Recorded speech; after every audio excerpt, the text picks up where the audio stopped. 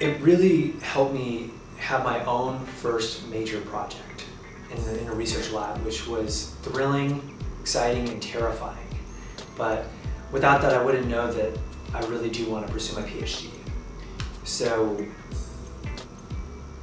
in my first research experience in high school, I was on a very guided track of what I needed to do. It was a good experience and I learned a lot of skills.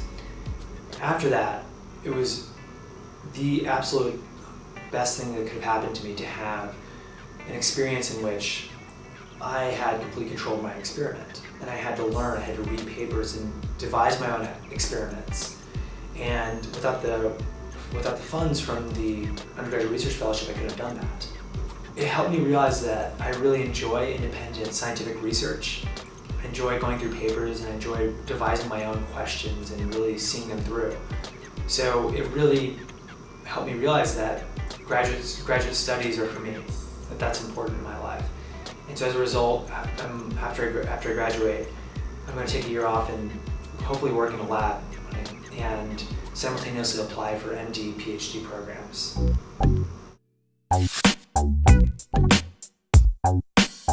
As a freshman, it's, it's, it can be challenging to find the right experience. And I think I got very lucky in joining a lab in which one was small, and two, the um, my PI was very caring and very um, personable. I think especially as a freshman, as a first year, when you're not as sure what you want to do or how to do it, having FaceTime with a faculty member is huge.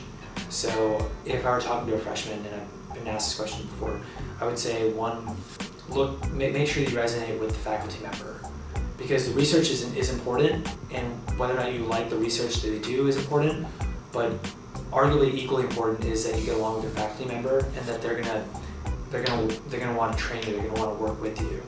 And sometimes certain faculty members they're they're very good, but they're traveling a lot or they have a huge lab and so they can't quite give you that face time that you need, especially as a young student. So my experience, that was one of the best things that happened about choosing a small lab with a young, energetic PI.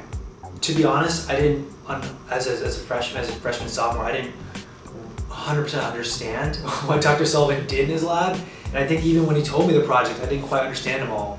But I mean, that's how it's gonna be for any freshman or sophomore. You haven't taken a lot of your coursework yet. So even if you read a lot of the literature that that, professor is doing, you might not even understand it. And that's why I emphasize make sure that you you, get along with that faculty member and that you resonate with them because especially as a freshman sophomore, you don't know a lot of things.